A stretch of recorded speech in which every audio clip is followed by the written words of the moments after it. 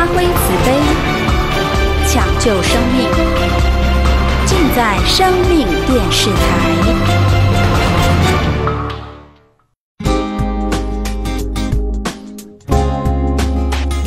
接下来，请收看慈悲法语。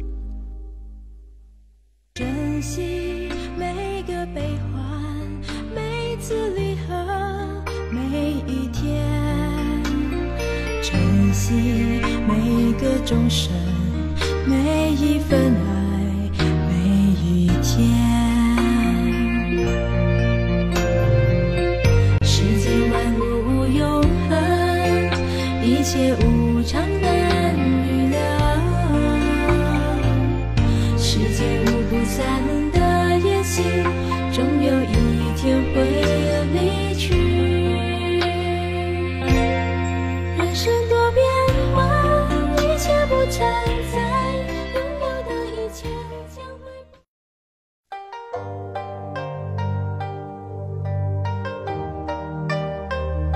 七，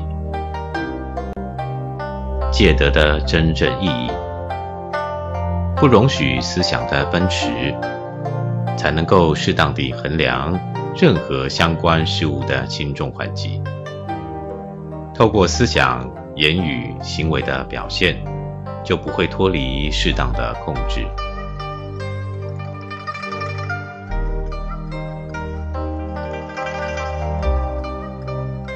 而八，戒德必须永远与心意相关联，它是善恶的产生者。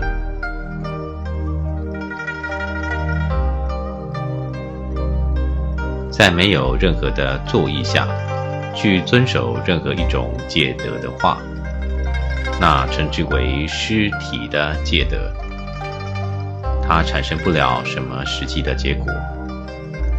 因此，必须永远控制着心意。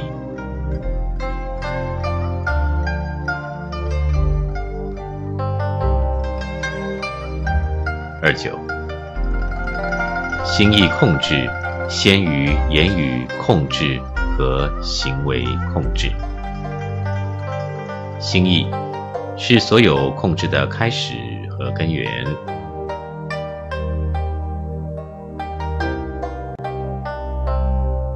一个人在注意到他的言语之前，必然包含了他的心意。离开了心意的戒德，对于遵守他的人，不能有任何利益。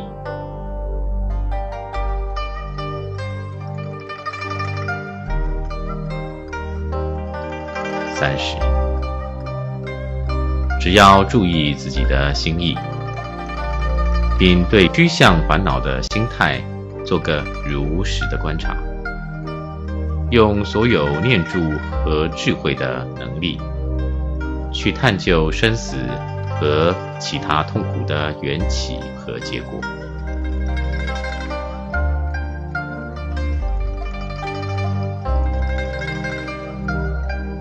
三一，佛陀所宣说的每一种法义。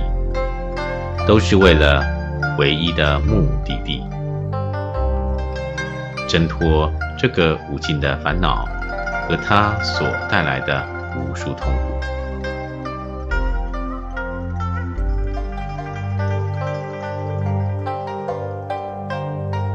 三二，那些志在超越这个恶性循环的人，必定能够运用。存在的三个法印：无常、苦、无我的真理与三界诸有。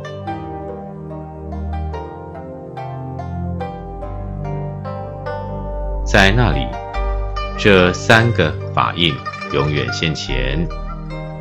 这个真理必须透过智慧予以认知。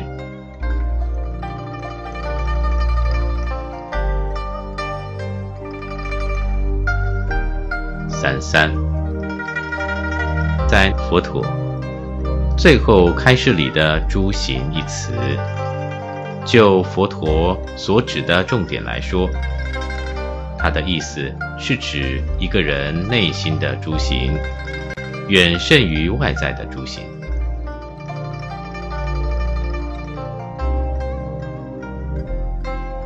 这强调着第二圣地，苦集。思想引起痛苦，困扰心意，并且不断地扰乱他的安宁。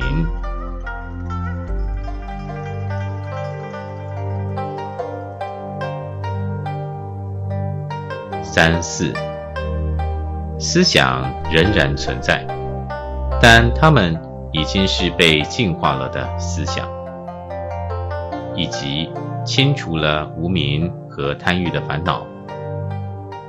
换句话说，它们仅仅是聚集而已。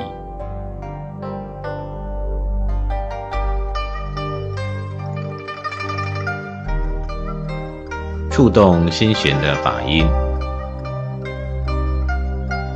慈诚加参仁波切，智悲法语。一，理解自己的痛苦。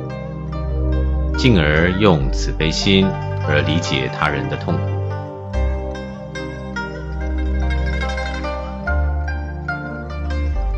理解自己的心，进而理解他人的心，理解自己的人生，进而理解他人的人生，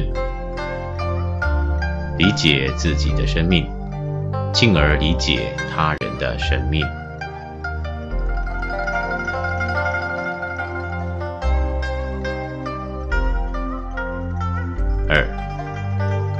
依靠众生，我们才能升起慈悲心；依靠众生，我们才能圆满成佛之道的福德资粮；依靠众生，我们才能成就佛果。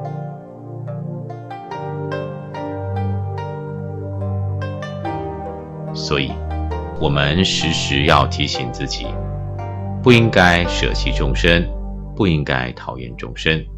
不应该远离众生，而应该感恩众生。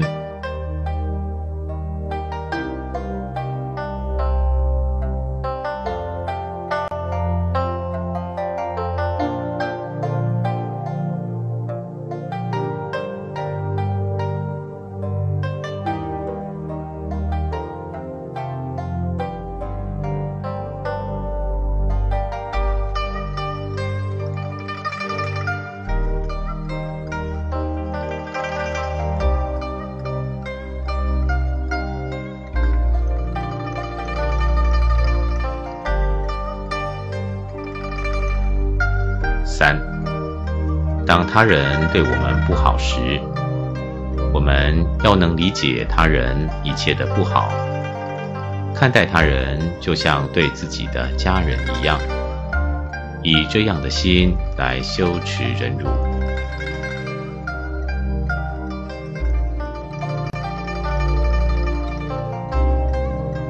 四。和每一个相识或不相识的人相处时，我们内心应该升起像和自己今生的亲人在一起时那样的欢喜和温暖。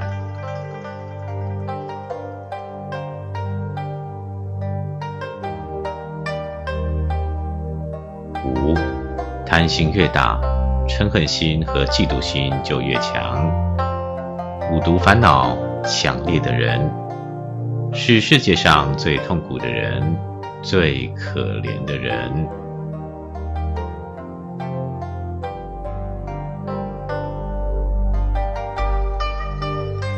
六，没有外面的敌人在干扰我们、伤害我们。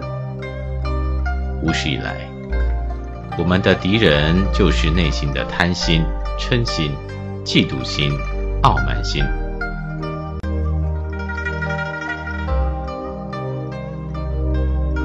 是他们把我们锁在六道轮回里，让我们的身心不得自由。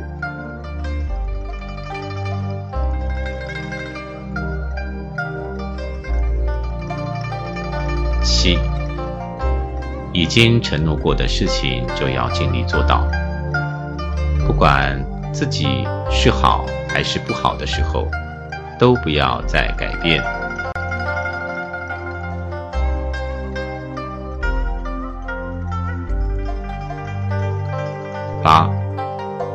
世界和平不是口号，而是每个人要身体力行去做的。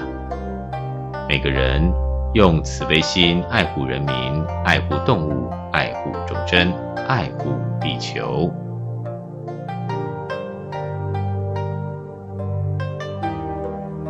把每个人的慈悲心凝聚在一起，大家团结在一起。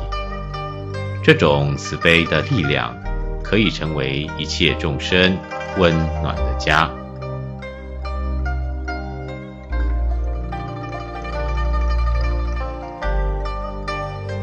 九，特别是年轻人，拥有慈悲和智慧很重要，因为未来的世界要靠你们。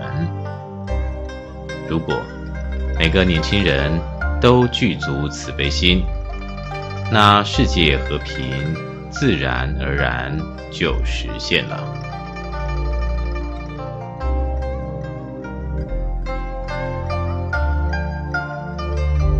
是，所谓慈悲没有敌人，智慧不起烦恼。如果没有智慧，所作所为是伤害自己。如果没有慈悲，所作所为是伤害他人。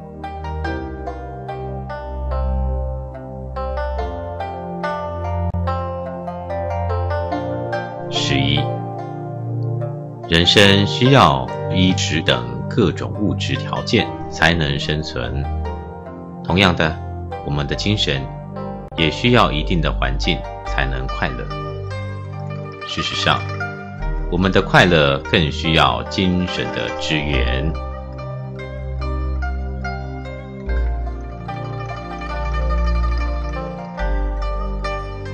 十二，精神清净快乐时，吃什么都欢喜，穿什么都舒服，也会让身边的人感到温暖。但如果心烦时，身边的人。都不敢跟你说话或开玩笑。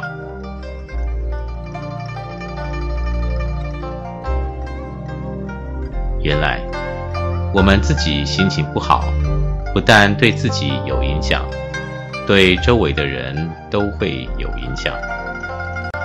所以，我们要尽可能把内在的精神调整过来。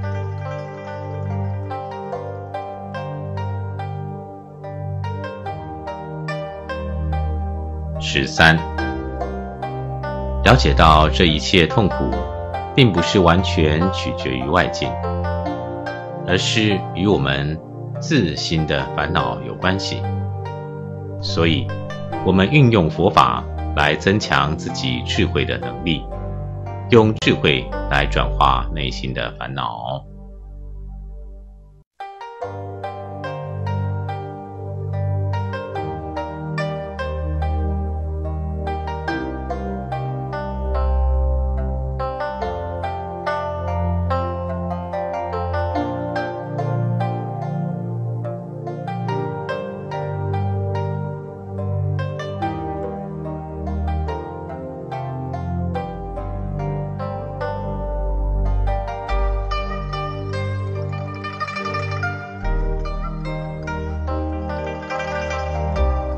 十四，当这个能力足够强的时候，在任何情况下，我们的心就不再会受这些烦恼的影响，就能成为自己生命的主人。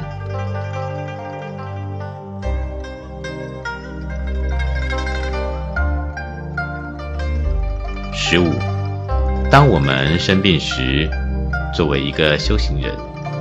这时要这样思维观修：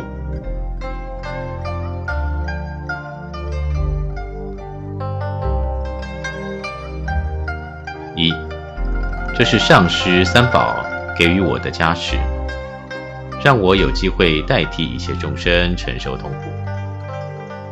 以前我想要修的自他相换，今天就能够实践了。愿我独自所受的苦，转为一切众生都得喜乐。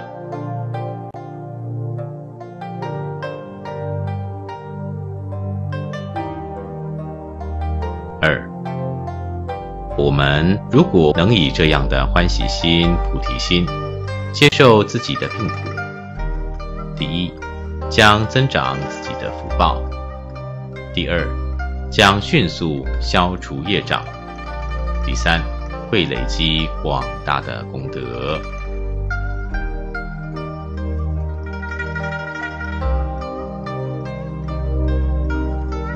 十六。一个内心真正具足慈悲心的人，就算打骂一个人，也是在帮助他、爱他。反之，一个表面微笑、内心没有慈悲的人，那么他的笑容也是能杀人的。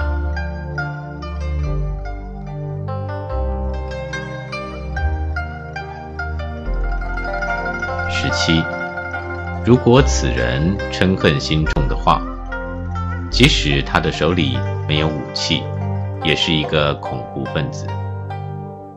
所以，我们一定要让自己的嗔恨心慢慢转化成慈悲心。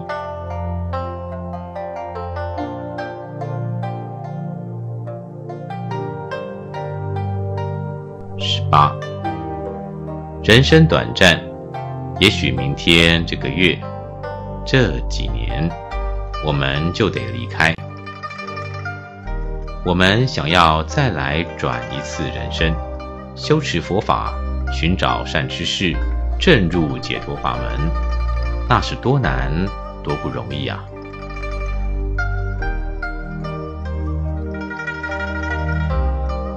如果你们不给自己机会去修行解脱的话，真是枉费这人生啦！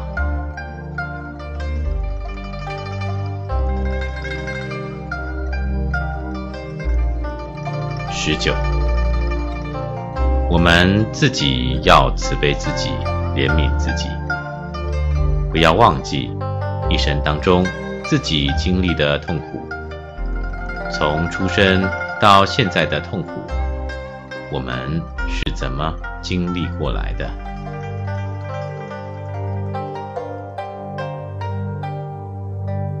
我们的人生是怎么度过来的？想想像这样一路走过来的这个人生，最后得到的结果是什么？想想自己还能在这个人间活多长时间呢？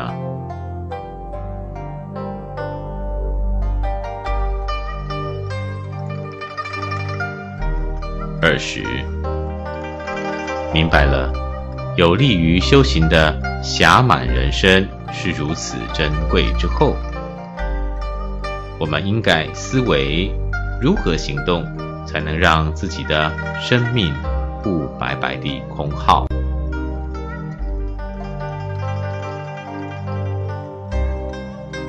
让这个宝贵的生命获得最有价值、最有意义。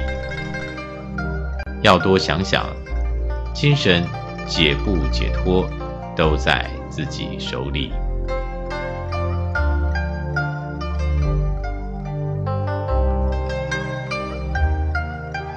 二一，当我们心情不好的时候，要反观自己的心。你可以观察心情不好的这个烦恼。他从哪儿来，要往哪儿去，住在哪里？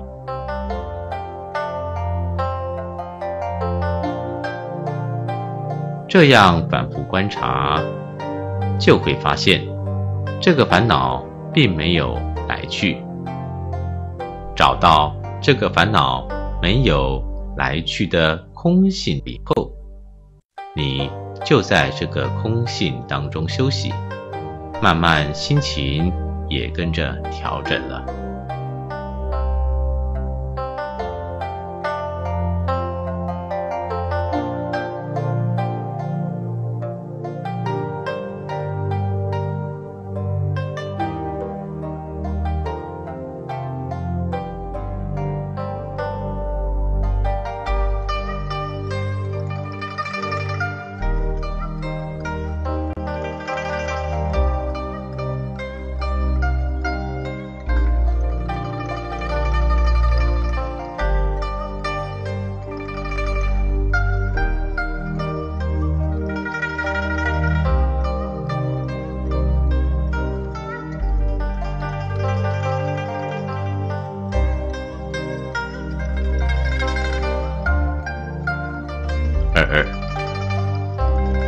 们的痛苦是从烦恼产生的。如果能从根本上断除烦恼，我们就能得到就近的快乐。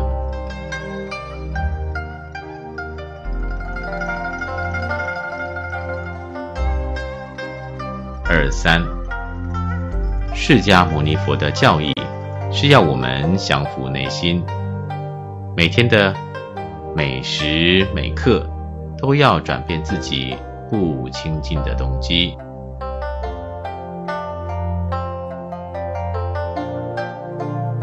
心越清净，心的能力就越大，我们就越自由、越自在。心越散乱、越愚痴，我们就越迷失，连自己都不知道我是谁。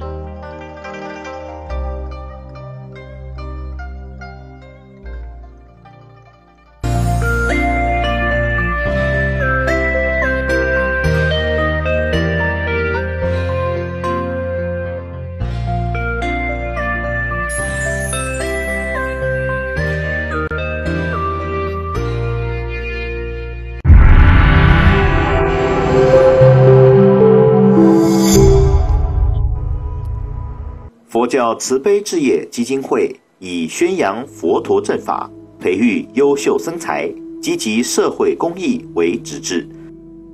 二十多年来，借由各项法务推广宣扬佛法慈悲智慧，如全省各中心的成立，让信众有学习佛法的道场，实践了弘扬佛法教育的功能性。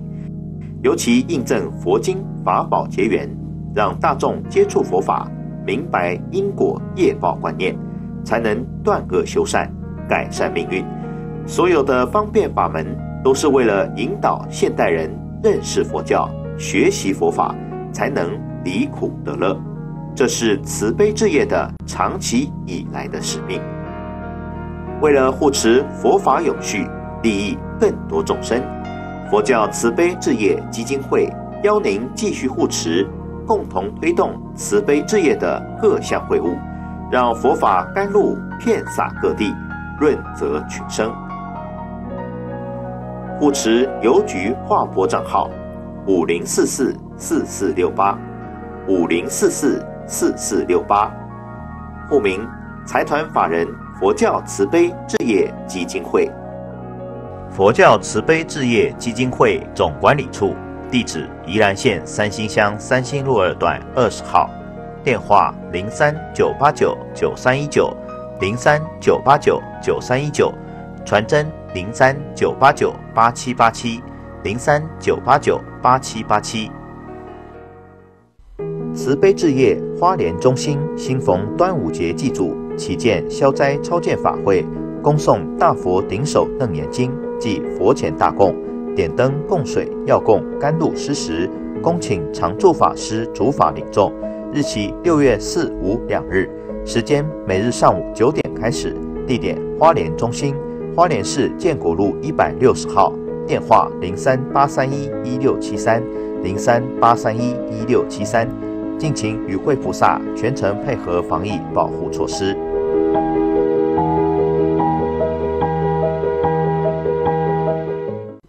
聚花月贤节千佛殊胜功德日，慈悲置业宜兰大悲观音道场线上礼拜药师宝忏，恭请广护法师主法及法务指导僧众共同领众。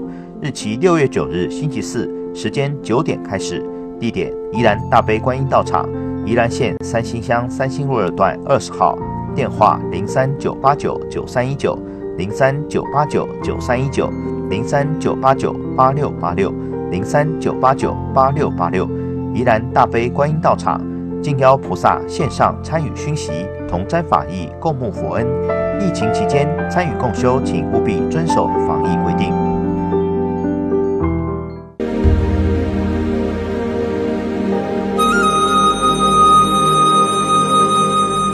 现在我要给予直指身与意的教言。认清化身的体性是嗡。是你当下有着无数念头形成的心，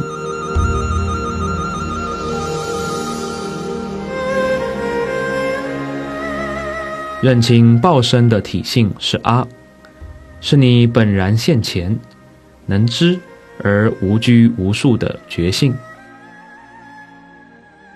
认清法身的体性是哄，是你无造作，不由任何事物所组成的心。此外，由于嗡是化身的体性，认清它即为行，不执着各种事物，而以所有可能的方式去觉受。由于阿是报身的体性，认清它即为修，限于当下而无攀执。由于哄是法身的体性。认清它即为见地，全然离于贪求的无边大乐。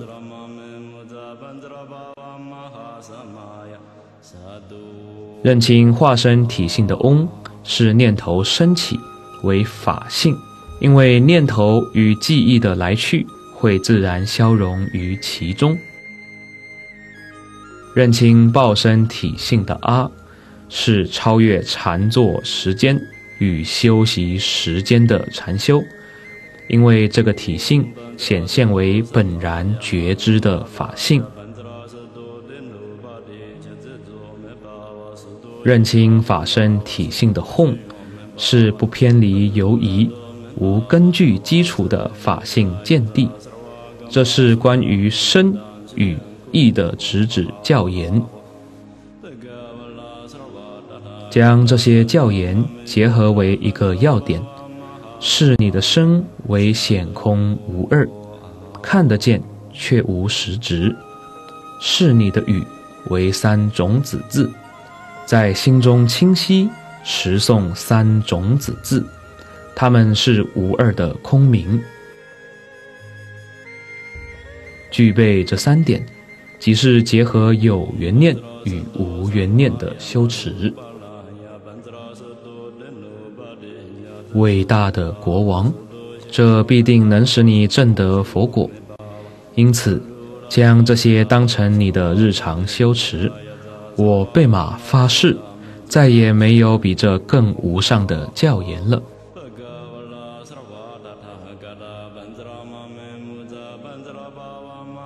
国王领受此教言之后，欣喜若狂。他向莲师弯腰致意。并向莲师抛洒金粉，这就是结合升起与圆满的教研。